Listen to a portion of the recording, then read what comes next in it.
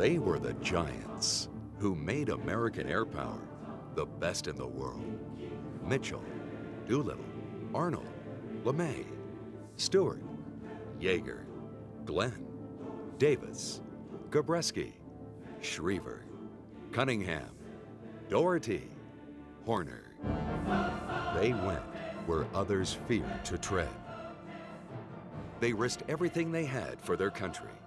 They were all remarkable patriots, and they were all legends of air power.